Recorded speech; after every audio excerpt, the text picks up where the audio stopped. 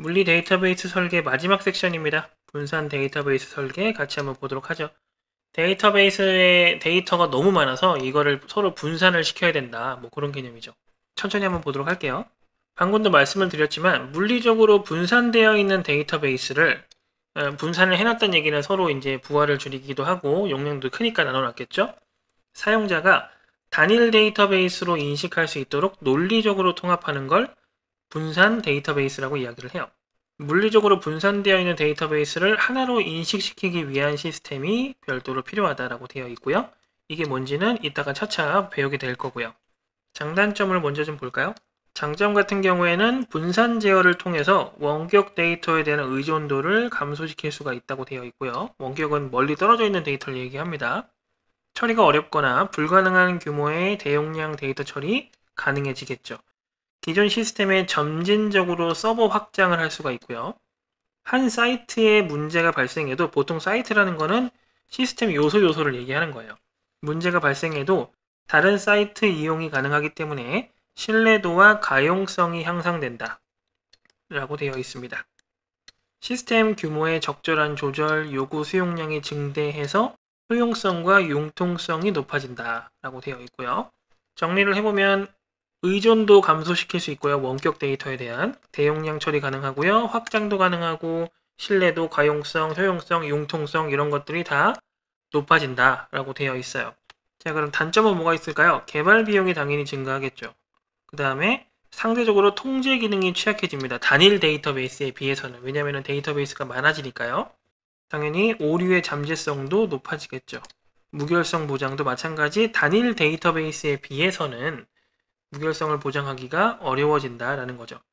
그러니까 지금 보면 장점은 되게 많은데 단점이 조금 그래도 적고 강조할 부분이 좀 더 있죠. 그렇기 때문에 어, 요거를 공부할 때는 장점을 다 좋다 정도로 보시고요. 다 좋은데 오류의 잠재성, 무결성 보장, 개발 비용이 증가해. 이렇게 알고 계시는 게 조금 더 효율적일 수 있어요.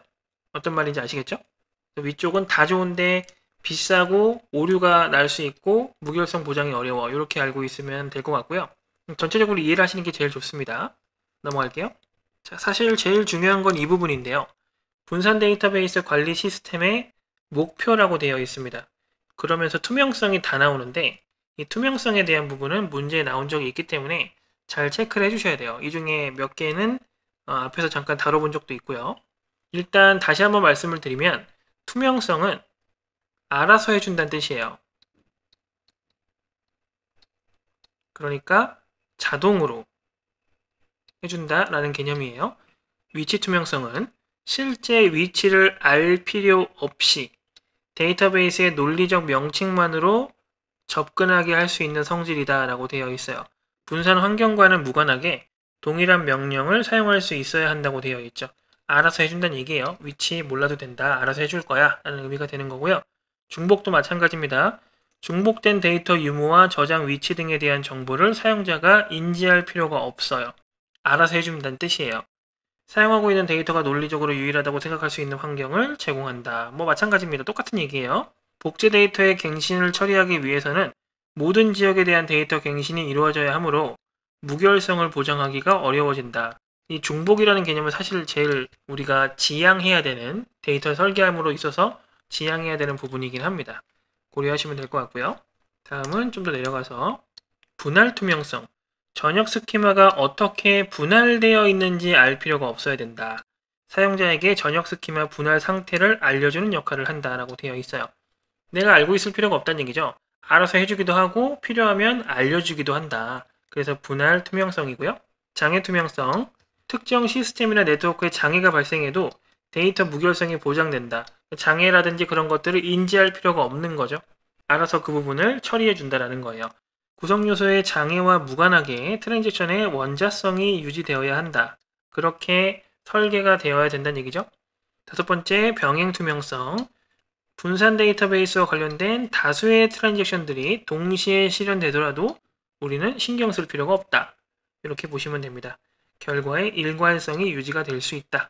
이런 투명성을 가지고 있어야 된다는 거죠. 그래서 각각의 투명성을 서로 구분해서 체크할 수 있어야 됩니다. 그 다음 물리 데이터베이스 설계의 종류, 데이터베이스를 설계하는 방식이에요. 첫 번째로 중앙 집중형 설계. 중앙 서버 컴퓨터만 데이터베이스를 관리하고 나머지는 접근만 하는 거예요. 그래서 중앙 집중형입니다. 그 다음 지역 집중형, 지역 데이터베이스 간의 데이터를 복제해서 서로 갱신을 주기적으로 하는 방식이에요. 분산 논리적 설계, 분산 환경에서 전체 지역의 데이터베이스를 하나의 논리적 데이터베이스를 유지하는 방식, 지금 우리가 보고 있는 거죠. 그 다음에 이 네 번째 분산 데이터베이스 설계는 설명이 조금 너무 어렵게 나와 있어요. 요거는 그냥 무시하시고요. 그런가 보다 보시면 되고 아마 이해가 안 되실 거고 분산 데이터베이스 설계가 뭔지는 앞쪽에서 얘기를 했으니까 그 부분에 대해서 기억을 하고 계시는 게 좋을 것 같아요. 여기서는 중앙 집중과 지역 집중, 분산 논리적 설계까지만 파악을 하시고 넘어가시면 될 것 같습니다. 다음 물리 데이터베이스의 분할입니다. 물리 데이터베이스의 분산, 테이블을 중복되지 않게 각기 다른 서버에 분산 배치하는 겁니다. 테이블 위치를 분산할 때는 테이블의 구조를 변경하는 게 아니고 다른 데이터베이스의 테이블과 중복이 돼서 안 돼요. 데이터베이스의 테이블을 각각 다른 위치에 배치하려면 미리 서버를 설정을 해야 된다고 되어 있죠. 당연한 얘기예요. 내려가서 물리 데이터베이스의 분할, 테이블의 데이터를 분할하여 분산시키는 것이다. 데이터를 분할해서 분산시킨다. 분할은 분산 데이터베이스에 중복되어 존재할 수도 있다고 되어 있네요. 동일한 분할을 복수 서버에 생성하는 분산 방법이다 라고 되어 있어요. 조금 헷갈릴 수 있죠. 조심하셔야 돼요. 세 번째, 물리 데이터베이스 분할 규칙, 완전성, 전 지역 테이블 내의 모든 데이터가 손실 없이 분할로 연결되어야 하는 것으로 전체 데이터를 대상으로 분할을 하는 겁니다. 두 번째, 재구성, 관계연산을 활용해서 본래의 전역 테이블로 재구성이 가능해야 된다. 세 번째, 상호 중첩 배제, 특정 분할에 속한 데이터가 다른 분할 데이터에 속하지 않도록 분할을 해야 된다. 서로 겹치지 않게끔 하는 뜻이죠. 분할 방식은 어차피 표는 2차원이기 때문에 가로 아니면 세로죠. 수평 분할 방식. 각각의 분할에 포함된 레코드들이 상호 중복되지 않게 분할을 하고요. 속성 값으로 인해 서버 간 상호 배타적이므로 분할을 통합하는 상황에서도 중복 식별자는 발생하지 않는다. 그 다음에 수직 분할 방식은 식별자를 제외한 속성들이 중복되지 않게 분할을 해야 된다고 되어 있고요. 어, 수직 분할의 경우에 속성 분할로 레코드 기준의 분리가 아니니까 서버별 동일 식별자를 가진 레코드가 중첩될 수 있어요. 식별자가 동일한 구조를 포함하므로 식별자를 통해 분할 전 테이블의 재구성이 가능하다라고 되어 있습니다. 이 속성을 기준으로 분할을 하기 때문에 식별자를 제외하고 그 다음에 물리 데이터베이스 할당 방식입니다. 비중복과 중복이 있네요. 최적의 노드를 선택해서 분산 데이터베이스의 단일 노드에서만 분할이 존재하도록 하는 방식입니다. 일반적으로 어플리케이션에는 릴레이션을 배타적 분할로 분리하기 힘든 요구가 포함되므로 분할된 테이블 간의 의존성은 무시되고 비용 증가, 성능 저하 등의 문제가 발생할 수 있다고 되어 있어요. 이게 지금까지도 어려우셨겠지만 분산 데이터베이스 설계라는 개념 자체가 굉장히 어려운 개념이에요. 그래서 이거를 아무리 쉽게 설명하고 간단하게 설명을 하더라도 문장 자체가 이게 예시를 들 수도 없는 부분들이 많아서 이해가 조금 어려우실 겁니다. 다행히도 이러한 개념들이 문제에 잘 나오지는 않아요. 그렇기 때문에 어, 수평 분할, 수직 분할, 뭐 비중복, 중복 이런 것들에 어떤 부분이 좋다, 어떤 부분이 나쁘다라는 개념 있죠. 그런 부분을 기억을 해두시는 게 훨씬 더 좋으실 것 같아요. 이 개념을 전체를 다 이해하려고 한다라고 하면은 어, 설명을 하기도 너무 버겁고 이해를 하시는 것 자체도 어렵기 때문에 이런 개념 있죠. 비용 증가, 성능 저하 이런 문제가 발생한다. 아니면 효율성이 좋아진다 이런 개념들이 있잖아요. 그런 부분만 키워드 같이 기억을 해두시는 게 학습하시는데 조금 더 유리하실 거예요. 전체적으로 이해를 한다기보다는 이 분산 데이터베이스 설계는 용어와 키워드 이렇게만 기억을 해주시면 될 것 같습니다. 자, 그래서 중복 할당도 일단 보면 비중복 할당의 문제점을 보완하는 형태고요. 일부만 복제하는 부분과 전체를 복제하는 완전 복제가 있다. 이 정도까지만 알아두시면 될 것 같아요. 내려갈게요. 자, 이런 용어는 알아두실 필요가 있죠. 이런 용어는 필기에도 나오고 실기에도 나오기 때문에 한번 보겠습니다. 네 번째는 빅데이터입니다. 빅데이터 자체가 중요한 건 아니고 밑에 항목들이 중요한데요. 일단은 분산 데이터베이스 설계는 우리가 앞에서 봤던 내용이고요. 데이터 통합도 마찬가지죠. 분산 데이터베이스의 단점 보완, 정보의 적시성 이런 것들의 목적을 위해서 데이터 통합 아키텍처를 구축하는 거예요. 데이터 통합은 데이터 웨어하우스나 EAI를 활용한다고 되어 있습니다. 데이터 웨어하우스가 뭔지를 알아야겠죠? 앞에서도 잠깐 나왔던 건데요. 데이터 웨어하우스는 정보의 효율적인 분석과 신속한 비즈니스 의사결정을 위한 데이터베이스 환경이다 라고 되어 있어요. 기업의 정보 자산을 효율적으로 활용하기 위한 하나의 패러다임으로 볼 수 있다고 되어 있고요. 데이터의 시계열적 축적과 통합을 목표로 하는 기술의 구조적 통합적 환경이다 라고 되어 있어요. 말이 어렵죠? 제가 계속 말씀드리지만 설명이 다 어려워요. 데이터베이스와 데이터 웨어하우스의 차이점이 밑에 적혀 있습니다. 데이터베이스의 기능은 업무 데이터를 관리하는 거고요. 데이터 웨어하우스의 기능은 의사 결정을 위해서 관리를 하는 거예요. 그 다음 데이터베이스의 데이터 형태는 기능별로 되어 있고요. 데이터 웨어하우스는 주제별로 되어 있어요. 요약이 되어 있고요. 연산 명령, 여기는 보통 DML, 데이터를 넣고 빼고 변경하고 다 있는데 여기서는 거의 대부분 SELECT로 진행을 합니다. 데이터베이스의 목표는 신속한 데이터 처리를 위해서 있는 거고 데이터 웨어하우스의 목표는 다양한 정보를 분석하기 위해서 있는 거예요. 두 가지가 약간 다른 개념이다 라고 보시면 되겠습니다. 그럼 이제 데이터 웨어하우스가 어떻게 활용되는지 아래쪽에 나와 있네요. 일단 데이터 마트라고 되어 있어요. 소규모 단일 주제에 대한 데이터 웨어하우스 시스템을 데이터 마트라고 하고요. 그 다음에 온라인 분석 시스템이 있네요. 온라인으로 다양한 데이터 분석 정보를 실시간으로 제공하는 시스템이에요. 여기서 사용되는 연산자가 문제에 나온 적이 있습니다. 체크를 잘 해주세요. 요거는 단어, 영어 단어 외우듯이 외우시면 되니까. 넘어갈게요. 자, OLAP의 종류가 나와 있네요. 여기 R이 붙어 있는 게 있고, M이 붙어 있는 게 있고, H가 붙어 있는 게 있죠. R은 관계형 DB와 관계형 쿼리를 사용해서 저장 및 분석을 하는 형태예요. 관계형 DB. 그래서 R이죠. 그 다음에 M은 특수한 구조의 다차원 DB를 사용을 한다 그래서 M입니다. 이게 멀티 디멘셔널이라고 되어 있죠. 검색 속도를 향상시키기 위해서 큐브 캐시라고 하는 주기억 장치 속의 데이터 큐브를 보관한다고 되어 있는데 사실 이거는 크게 중요한 건 아닌 것 같고요. 다차원 DB를 사용한다라는 개념이 중요해요. 그 다음에 요거 두 가지를 다 가지고 있는 하이브리드에 H가 들어가 있는 HOLAP가 있다 정도 보시면 되겠습니다. 다음은 데이터 마이닝이에요. 데이터 웨어하우스에서 유용하고 가능성 있는 정보 또는 정보 간의 패턴을 발견하기 위한 기법이 데이터 마이닝이다. 라는 거고 데이터 마이닝 기법이 이렇게 설명이 되어 있죠. 사실 이것까지는 모르셔도 될 것 같은데 데이터 마이닝이 뭔지가 중요해요. 데이터 웨어하우스에 있는 애들 중에서 마이닝이 채굴한다는 거잖아요. 그래서 유용하고 가능성 있는 정보를 뽑아낸다는 거예요. 그래서 데이터 마이닝이다. 라고 알고 계시면 되겠습니다. 세 번째, 빅데이터의 등장 배경이 나와 있어요. 디지털 환경의 확산으로 데이터가 너무 많은 거예요. 그래서 제어할 수가 없는 거예요. 그렇기 때문에 빅데이터가 필요하다. 그런 얘기죠.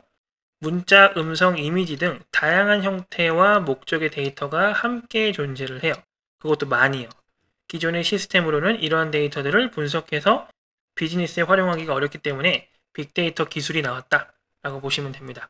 빅데이터의 특징, 빅데이터의 기술은 큰 규모와 다양한 데이터를 빠른 속도로 처리를 해야 된다 라는 게 특징이고요. 기존의 정형화된 수치 데이터를 벗어나서 다양한 형태의 비정형 데이터를 포함한다. 방금 이야기를 했죠? 규모가 방대하고 다양한데 또 짧은 생성 주기를 가져요. 그래서 생성이 엄청 자주 되죠. 고가의 저장 장치보다는 클라우드 시스템 등의 경제적이고 효율적인 시스템을 이용한다라고 되어 있고요. 대표적인 빅데이터 프레임워크로 이런 것들이 있다라고 되어 있습니다. 이게 뭔지 밑에 나와 있네요. Hadoop이라는 게 있대요. Hadoop의 개념은 오픈소스 기반의 분산 컴퓨팅 플랫폼이고요. 일반 PC들로 가상화된 대형 스토리지를 형성할 수가 있다고 되어 있어요. 필수 핵심 구성 요소로 MapReduce와 Hadoop 분산 파일 시스템이 있는데요. MapReduce가 뭔지는 밑에 설명이 나와 있습니다. 이 Hadoop MapReduce는 문제 나온 적이 있어요. 일단 구글이 만들었고요. 병렬 처리 기법을 제공하고요. 그 다음에 분산 처리 다음에 다시 합치는 과정을 거치는 형태입니다. 요거는 읽어보시면 될 것 같아요. 마지막으로 빅데이터 처리 과정에 대해서 나와 있습니다. 데이터가 일단 생성이 되죠. 내부랑 외부가 있는데 내부는 데이터베이스나 파일 시스템의 데이터를 이야기하는 거고요. 외부는 인터넷상에서 생성된 데이터를 이야기를 해요. 네, 수집을 하는 방법, crawling과 ETL이 있어요. ETL이 이거, 이거, 이거의 약자입니다. crawling은 검색 엔진 등을 이용해서 데이터를 수집하는 거고요. 자, 저장은 SQL을 사용하지 않는 데이터베이스 시스템을 이용을 한다고 되어 있어요. 그래서 NoSQL입니다. 그리고 처리를 하죠. Hadoop 같은 걸로 처리를 하는 거예요. 그 다음에 처리된 데이터를 분석합니다. NLP나 machine learning 같은 경우로 분석을 하는 거고요. 그 다음에 표현은 가시화로 표현을 한다고 되어 있어요. 데이터 분석 결과를 쉽게 이해할 수 있도록 표현한다라고 되어 있죠. 요거는 이제 설명만 보시면 될 것 같고요. 처리 과정만 체크를 좀 할 수 있으시면 될 것 같아요. 특별히 어려운 개념은 아니니까요. 여기까지 보도록 하겠습니다. 3과목 마지막 chapter입니다. 데이터 전환 같이 한번 공부해 보도록 할게요. 내용이 그렇게 많지는 않습니다. 첫 번째로 데이터 전환 섹션입니다. 데이터 전환의 정의부터 같이 좀 볼까요? 데이터 전환이란 운영 중인 기본 정보 시스템에 축적되어 있는 데이터를 추출하여 새로 개발한 정보 시스템에 운영 가능하도록 변화한 후 변환이라고 하는 표현이 더 맞겠죠? 적재하는 일련의 과정을 말한다라고 되어 있습니다. 이거 어디서 본 내용이죠? 이러한 과정을 줄여서 ETL 이라고 한다고 되어 있습니다. 데이터 이행, migration, 이관 이런 것들을 통칭하여 사용한다라고 되어 있어요. 데이터 이행, migration, 이관, 데이터 전환 다 같은 의미의 단어다 라고 알고 계시면 되겠죠. 데이터 전환 절차, 데이터 전환 프로세스는 시스템 개발 단계와 유사한 측면이 있다. 다 비슷비슷하죠. 계획하고요. 설계하고 개발한 다음에 검증한 다음에 실제로 전환을 진행하는 거죠. 요 다섯 단계를 같이 한번 볼 거예요. 자, 가장 먼저 데이터 전환 계획을 잡습니다. 프로젝트를 계획하고요. 환경을 구축합니다.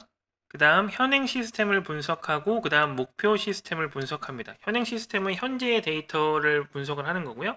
목표 시스템은 이 데이터가 어떻게 변환이 되어야 되는지를 보는 거겠죠. 그리고 마지막으로 데이터 전환 요구사항을 정의를 하는 거죠. 데이터 전환 시에 이해관계자들의 요구사항을 명확하게 정의를 해서 어떤 식으로 데이터가 전환이 돼야 되지? 라고 계획을 짜는 겁니다. 크게 어려운 부분은 아니죠? 넘어갈게요. 자, 계획을 했으면 실제로 전환 설계를 해야겠죠. 네 가지 정도가 있는데요. logical mapping부터 볼게요. 목표 데이터베이스를 기준으로 해서 원천 데이터의 ETL logic, 전환 logic인 거죠. 전환 logic과 업무 영역별 비즈니스 흐름이 잘 반영되어야 된다라고 되어 있어요. 이 업무 영역의 흐름이 반영될 수 있게끔 전환을 해야 된다는 소리죠. 그 다음 코드 mapping, 요구사항 정의 단계에서 분석된 데이터를 기반으로 목표 데이터베이스를 데이터 표준에 맞춰서 정의를 할 수 있어야 된다. 그리고 mapping 관계를 기술한다라고 되어 있습니다. 데이터 표준이라는 개념이 중요하겠죠. 다음 검증 규칙 정의. 데이터 변환이 이루어진 데이터들의 검증 규칙을 명확히 정의한다. 항상 뭔가 작업이 진행되면은 테스트, 검증을 반드시 진행하기 때문에 테스트가 어, 성공했다 아니면 실패했다의 기준을 정하겠다 그런 뜻이 되는 거죠. 다음 전환 설계 수립 원천 데이터를 목적 데이터베이스에 적재하기 위해서 사상관계를 정의한 데이터 전환 설계서를 작성한다. 설계서를 작성한다는 얘기예요. 이세 가지를 고려한 다음에 설계서를 작성한다. 이렇게 알고 계시면 되겠습니다. 넘어갈게요. 앞서서 계획도 했고 설계도 했으면은 이 설계된 내용대로 전환을 할 수 있는 프로그램을 개발을 할 거예요. 전환 개발 환경을 먼저 구축합니다. 개발 표준과 개발 방법론에 맞게 데이터 전환 개발 환경을 구축한다. 데이터 전환 수행 계획서를 먼저 분석을 하고요. ETL 도구, 전환 도구예요.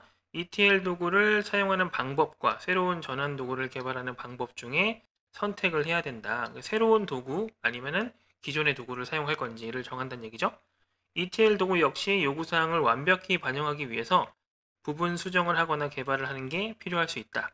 기간 및 예산, 요구사항 반영 범위를 고려해서 선택을 한다라고 되어 있습니다. 다음, 기술적 환경 분석, 데이터 전환 프로그램을 구현하기 위한 시스템 구성도, 데이터베이스 정보를 확인한다. 원천 데이터 서버 정보와 목표 데이터 서버 정보도 모두 확인한다. 여기서 이렇게 변환을 하는 거기 때문에 둘 다 당연히 확인을 해야겠죠. 다음, 기술 요소 분석. 확인된 정보들로 실제 접근이 가능한 관련 소프트웨어가 뭐가 있는지 파악을 해둔다 라고 되어 있습니다. 자 이렇게 환경을 구축한 다음에는 프로그램을 개발해야겠죠. 데이터 전환을 사람이 직접 어, 이 데이터는 이렇게 바꾸고 저 데이터는 이렇게 바꾸고 이렇게 해서 하나하나 하는 게 아니라 이런 데이터를 저런 종류의 형식으로 바꾸는 변환할 수 있는 자동으로 변환할 수 있는 프로그램을 개발해서 자동으로 migration 할 수 있게끔 하는 거기 때문에 그 부분이 나와 있는 겁니다. 약간 올려서 볼까요? 전환 프로그램 개발 데이터 전환 설계서에 기초하여 항상 설계서에 기초를 하고 있죠. 데이터 전환 프로그램을 구현을 할 거예요. 데이터 전환 프로그램에는 원천 데이터 분석 모듈과 데이터 전환 엔진 모듈이 있다. 분석과 전환 엔진 이런 게 있다는 거죠. 원천 데이터 분석 모듈이 뭐냐? 원천 데이터로부터 메타 데이터를 생성하고 메타 데이터로부터 운영 환경을 분석해서 분석 보고서를 생성해 주는 애예요. 아, 메타 데이터를 분석해서 보고서를 만들어 준다. 이렇게 보시면 되겠죠. 별도의 분석 모듈 없이 수작업으로도 분석을 할 수는 있다. 라고도 되어 있고요. 다음은 전환 엔진 모듈이 나오겠죠. 전환 엔진 모듈 데이터를 추출합니다. 원천 데이터의 종류에 따라서 추출 방법을 결정해서 어쨌든 추출을 하겠죠. 그 다음에 변환을 하겠죠. 그 다음에 적재를 하겠죠. 이 전환 엔진이 결국에 ETL을 하고 있는 거죠. 다음, 검증 프로그램 개발. 데이터 검증 설계서에 기초해서 실현 가능한 검증 프로그램을 구현한다. 위쪽에 방금 봤던 이 모듈들을 포함한 검증 프로그램을 최종적으로 개발한다. 라는 의미가 되겠습니다. 자, 그러면 구현을 했으면 이걸 이제 검증을 해서 제대로 만들었는지를 체크를 해야겠죠. 데이터 전환 검증입니다. 데이터 전환 검증 설계. 목적 데이터베이스로 원천 데이터를 전환하기 위한 검증 단계, 방법 이런 걸 설계한다고 되어 있어요. 추출 검증, 원천 데이터를 정확히 추출했는지 일단 검증을 하는 거죠. 아무리 데이터 전환이 완벽하게 이루어져도 원천 데이터 자체가 잘못 뽑혔다고 하면 아무 의미가 없죠. 추출 검증을 먼저 진행을 하고요. 그 다음에 세 번째, 반환 결과를 검증합니다. 추출 검증 결과, 여기는 과정에 해당하는 부분이에요. 여기는 결과가 올바르게 뽑혔는지 확인한다라는 거죠. 그 다음 최종 전환 설계 검증 과정에서 발견된 수정사항을 반영해서 최종적으로 설계를 완성한다. 어, 일단 검증해서 문제가 있으면 수정을 하고 그 다음에 최종적으로 완성했다는 뜻이에요. 다음 전환 인프라 구축 데이터 전환을 위한 인프라를 구축한다. N차 전환 검증 반복적인 데이터 전환 검증을 통해서 정합성을 확보한다. 정합성이 뭔지는 앞에서도 언급을 했었었죠. 이렇게 해서 이 과정을 계속 반복해서 전환 검증을 한다는 뜻이에요. 자, 그래서 검증이 끝나면 이제 아, 이 프로그램 써도 된다 라고 판단이 됐으면 실제로 전환을 해봐야겠죠. 여기 다섯 번째 마지막 데이터 전환 나와 있습니다. 최종 전환. 검증된 전환 프로그램을 이용해서 여기서 검증을 했어요. 실제 전환을 실시하고 결과를 검증한다. 안정화 지원. 전환된 데이터가 신규 시스템에 문제없이 운영되는지 안정적으로 운영되는지 확인을 하겠다는 거죠. 세 번째, 후속 단계 데이터 전환. 안정화 지원 시에 발생된 문제점을 개선해서 후속 단계 데이터 전환을 진행한다. 다음에 데이터 전환을 진행할 때는 조금 더 안정적으로 이런 방식으로 진행을 해보자 이런 얘기죠. 그 다음에 보고서 작성하고요. 항상 마지막엔 문서 이렇게 단계가 되겠습니다. 자, 좀 전에 계획, 설계, 개발, 검증, 전환 하는 이 절차를 봤는데요. 다섯 가지 절차를. 이 중에서 가장 중요한 거는 검증이에요. 데이터의 정합성이 완벽한지를 체크를 해야 되기 때문에 데이터가 완벽하게 옮겨졌는지를 확인을 해야겠죠. 그래서 데이터 전환 검증 프로그램에 대한 부분이 한 번 더 자세하게 나와 있습니다. 데이터 전환 검증 단계가 나와 있는데요. 일단 추출 됐는지, 전환 됐는지, 적재 됐는지, 업무에 제대로 적용이 되고 있는지, 그 다음에 통합 검증, 적재된 데이터와 원천 데이터의 개수나 합계값 등이 맞는지 검증을 한다. 라고 되어 있죠. 이 다섯 가지의 검증 단계를 봐주시면 될 것 같고요. 그 다음에 데이터 전환 검증 프로그램의 구현 요건이 나와 있어요. 이 세 가지 요소는 반드시 포함되어야 된다. 뭐 그런 얘기죠. 첫 번째로 완전성입니다. 모든 데이터는 빠짐없이 전환 규칙을 적용하여 목표 데이터베이스에 적재되어야 한다. 모든 데이터 빠짐없이 이게 완전의 개념이에요. 그 다음 데이터 값의 일관성, 전환된 데이터는 목표 데이터베이스에 존재하는 요구사항과 제약 조건을 충족해야 된다. 이렇게 충족할 수 있게끔 전환이 돼야 된다. 그 얘기고요. 세 번째 관계의 일관성, 원천 데이터의 데이터 간 관계가 목표 데이터베이스에서도 보존되어야 된다. 관계가 계속 유지가 되어야 된다는 얘기죠. 전환을 제대로 하면 이런 것들이 다 보존이 되겠죠. 이 세 가지를 기억을 해두시면 될 것 같고요. 다음은 데이터 전환 검증 프로그램 테스트. 테스트입니다. 검증을 또 검증하는 거죠. 검증 프로그램을. 개발 환경에서 테스트. 모든 사이트에서 누락되거나 상이한 데이터가 없는지 데이터별로 값을 비교하고 확인을 합니다. 반복적으로 테스트를 진행해서 오류를 줄여야 된다라고 되어 있죠. 자, 요게 이제 완전성을 기르기 위해서 저기 하는 거겠죠? 다음 성능 최적화. 가장 많은 시간이 소요되는 단계부터 프로그램을 검증해서 최적화를 수행한다. 최적화가 필요하다라는 거죠. 오류를 줄이고 최적화를 수행해야 된다라고 보시면 되겠습니다. 다음 데이터 전환 수행 시간 산정이라고 되어 있네요. 원천 데이터의 전체 건수와 추출 시간을 확인을 합니다. 원천 데이터의 테이블별 건수와 추출 시간 확인해서 쿼리나 로직을 최적화한다. 시간은 대부분 최적화랑 관련이 있죠. 목적 데이터베이스에 적재하기 위한 데이터 전환 시간도 확인을 합니다. 목표 데이터베이스에 적재하기 위한 테이블별 전환 데이터 건수와 시간을 확인하고 최적화한다고 되어 있어요. 마찬가지 최적화죠. 시간은 대부분 다 이래요. 목적 데이터베이스에 적재하는 시간 확인. 적재 로직은 비교적 단순해서 문제가 발생할 확률이 낮은 편이다. 이미 전환 끝났으면 대부분 그냥 저장하면 끝나는 거니까요. 추출하고 그 다음에 전환하고 적재하는 건데 추출 전환해서 조금 더 신경을 써야 되는 거고 이게 완벽하게 끝나면 두 가지가 완벽하게 끝나면 적재는 사실 큰 문제가 안 된다. 뭐 이렇게 써 있는 거죠. 그 다음에 검증 프로그램이 이제 돌리겠죠 검증을. 그래서 검증 시간도 확인을 해야 된다 라고 나와 있습니다. 마지막으로 데이터 전환 결과를 분석하죠 적재율과 오류율이 있어요 읽어보시면 뭐 크게 어려운 개념은 아니죠 모모 나누기 모모 곱하기 100인 거니까요. 검증 성공률도 뭐 크게 어려운 부분이 아니죠. 이미 수집된 검증 요건에 대한 그 다음에 목표 시스템에 대한 항목별 비교 검증 성공률 이렇게 계산을 하면 되겠다라고 나와 있습니다. 여기까지가 데이터 전환에 대한 내용이에요. 두 번째 섹션 데이터 정제입니다. 3과목 마지막 챕터의 마지막 섹션이에요. 데이터 정제, 정제라는 거는 품질을 높인다 이렇게 생각을 하시면 되는데요. 그래서 품질 방법론이 먼저 나오고 있죠. 같이 한번 볼게요. 품질 방법론의 개념, 품질을 높이고 관리하기 위해서 결국에 품질 높인다는 얘기예요. 그래서 데이터 관리 활동을 체계적인 흐름으로 표현한 데이터 관리 프로세스다라고 되어 있고요. 표준 관리, 모델 관리, 흐름 관리, 데이터베이스 관리, 보안, 활용 관리, 요구사항 관리 등이 있다라고 되어 있습니다. 이걸 하나하나 간단하게 살펴볼 거예요. 데이터 표준 관리, 해당 기관에서 사용되는 용어나 도메인, 코드 등 데이터 관련 요소에 대한 표준을 정의를 해둬야 된다. 그래야 어, 서로 같은 걸 쓸 수 있기 때문에 표준화가 진행되는 거고 그러면 품질이 상승할 수 있다. 뭐 그런 얘기입니다. 표준에 따른 원칙을 정의하고 사용자 요구사항에 기초한 전사 표준을 정의한다고 되어 있어요. 전사 표준은 기업 표준을 이야기하는 겁니다. 업체 표준. 두 번째 표준 변경. 새로운 요구사항에 따라 정의된 데이터 표준을 변경하는 작업이다. 표준을 변경할 수도 있는 거죠. 세 번째 표준 평가.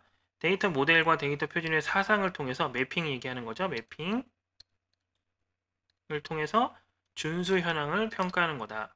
데이터 모델, 데이터 표준 대응해 봤을 때 아, 제대로 지켜지고 있구나 이런 것들을 파악을 한다는 거죠. 다음 데이터 모델 관리. 데이터 모델이 뭐냐? 데이터 모델링 작업, 개념 모델링, 논리 모델링 같은 거 있죠? 이런 거 했던 작업들 이거를 전사적으로 생성하는 작업이다라고 되어 있죠. 전사적이라는 건 항상 이제 기업적, 업무적 뭐 이런 뜻이에요. 두 번째, 이렇게 만든 모델도 마찬가지 변경이 가능하고요. 그 다음에 평가를 할 수 있습니다. 항상 성능, 효율성, 정합성, 데이터에는 정합성이 항상 붙죠. 효율성과 성능은 항상 어디든 붙는 거고 이런 것들을 평가할 수 있다. 이렇게 알고 있으면 됩니다. 그 다음 네 번째 데이터 흐름 관리 흐름 정의 흐름이 뭐냐 어, 수기 생성 또는 ETL 같은 걸 통해서 저장되는 데이터들의 생명 주기를 관리한다. 데이터가 어떻게 흘러서 어떻게 저장되는지 뭐 그런 것들을 관리한다는 거죠. 당연히 흐름 변경 가능할 거고요. 흐름 평가, 목표 데이터베이스에 관리되는 데이터들의 어떤 걸 평가한대요. 또 정합성을 평가한다고 되어 있죠. 넘어가겠습니다. 다섯 번째 데이터베이스 관리. 데이터베이스가 뭔지는 우리가 다 알고 있으니까요. 두 번째 데이터베이스 변경. 우리 변경 지금 다 가능하다고 배우고 있죠. 특별하게 어려운 건 아닙니다. 그 다음 평가. 설정된 규칙이 오류를 방지하고 최적의 성능을 보장하는지를 평가한다 라고 되어 있습니다. 데이터베이스 자체에 오류가 있는지 성능이 괜찮은지를 판단하겠다는 거죠. 데이터베이스는 데이터베이스 자체가 데이터는 아니기 때문에 구조라든지 성능을 평가하는 거예요. 저장되는 애들이 데이터인 거죠. 넘어가서 데이터베이스 보안. 보안이 뭔지는 우리가 다 알고 있잖아요. 안정적으로 서비스할 수 있게끔 하는 게 보안이죠. 마찬가지 보안 정책도 바꿀 수 있고요. 보안 평가, 접근 로그를 분석해서 보안 정책 수준을 평가한다. 이 보안이 지금 너무 센지 아니면 너무 약한지 뭐 그런 거 판단하겠다는 거죠. 다음 데이터 활용 관리, 데이터 활용 평가라고 되어 있네요. 데이터가 기대 품질을 충족하지 못하는 경우에는 원인을 분석해서 담당자한테 조치하도록 하는 작업이라고 되어 있습니다. 활용 개선은 활용 저하 원인별로 개선 방안을 마련해서 개선 활동을 한다라고 되어 있어요. 활용 평가는 기대 품질을 충족하는지 못하는지를 평가하는 거고 활용 개선은 개선 방안을 마련해서 실제로 개선을 하는 거다. 그 얘기입니다. 마지막 요구사항 관리가 있네요. 요구사항 확인, 사용자 요구사항을 수립 분석해서 뭐 이걸 제거한다라고 써 있는데 뭐 아는 내용이죠. 요구사항 반영, 마찬가지 아는 내용입니다. 작업 반영 계획을 수립한다. 뭐 써 있는데 어려운 내용이 아니죠. 이것들은 이 정도만 보고 넘어가면 될 것 같아요.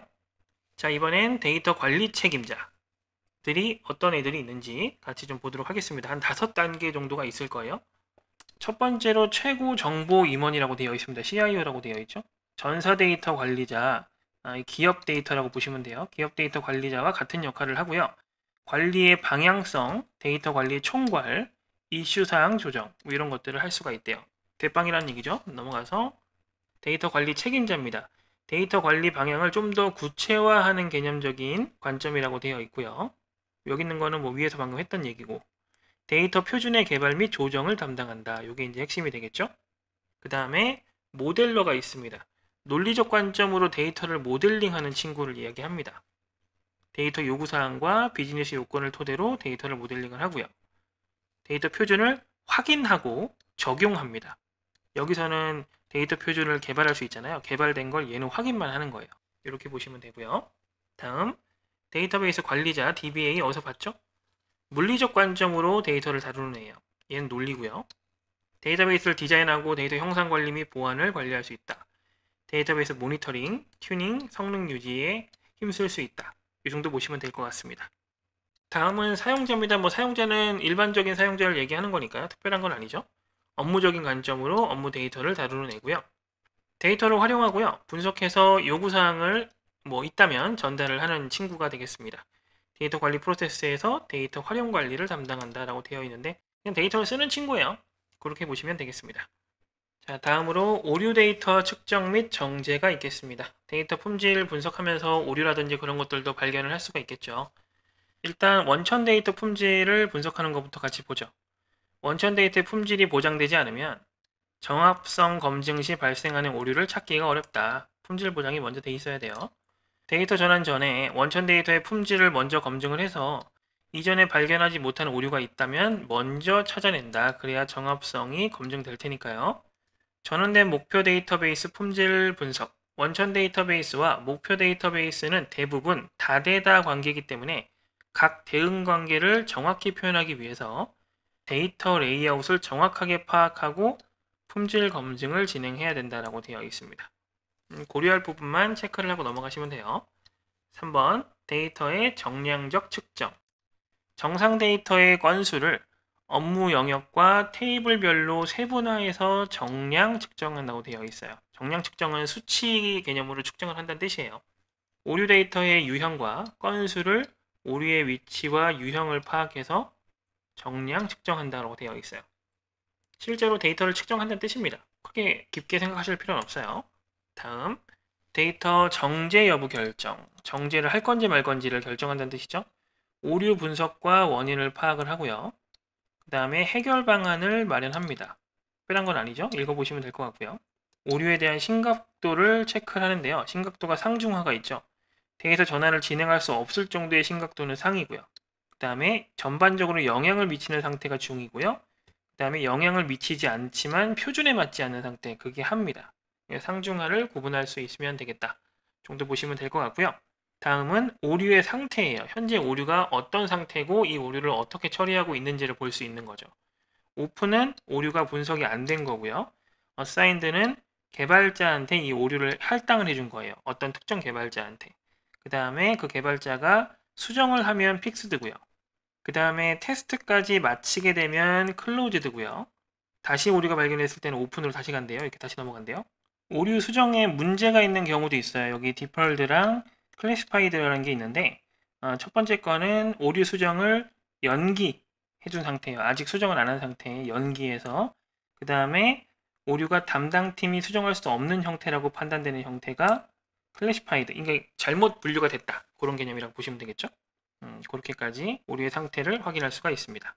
다음으로 정제 요청서 작성이라고 되어 있죠. 정제를 이렇게 해주세요 라는 거죠. 정제 유형은 이렇게 네 가지가 있습니다. 이거 앞에서 봤던 거죠. 완전성이 지금 문제가 있다. 유효성이 문제가 있다. 일치성이 문제가 있다. 유일성이 문제가 있다. 이런 형태가 지금 보는 거죠. 그래서 이 부분을 지금 수정을 해서 유일성을 만족시켜야 된다. 이렇게 어, 요청을 하는 거죠.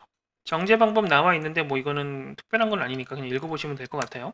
마지막으로 SQL 성능 튜닝입니다. SQL 성능 튜닝이 뭔지는 대충 감이 오시죠? 사용자의 질의를 효율적 실행이 가능한 내부 질의로 변경하는 작업이다. 사용자 질의와 변경된 내부 질의의 결과는 같아야 된다. 결과는 같지만 성능은 올려야 된다. 뭐 그런 얘기가 되겠죠? 성능을 튜닝하는 방법. 이 개념이 앞에서 나왔었어요. 일단은 selection 연산 우선 수행 나와 있습니다. 테이블에 행을 추출하는 연산으로 수평적 부분 집합을 구한다. 나왔던 내용이죠.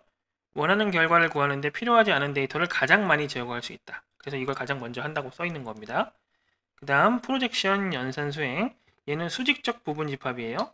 대부분의 데이터는 필드보다는 데이터의 개수가 많기 때문에 이걸 먼저 하는 거고요. 그 다음에 이걸 하는 게 좋겠다라고 되어 있습니다. 역시나 상당 부분 제거할 수 있기 때문에 다음에 join 연산 순서를 최적화합니다.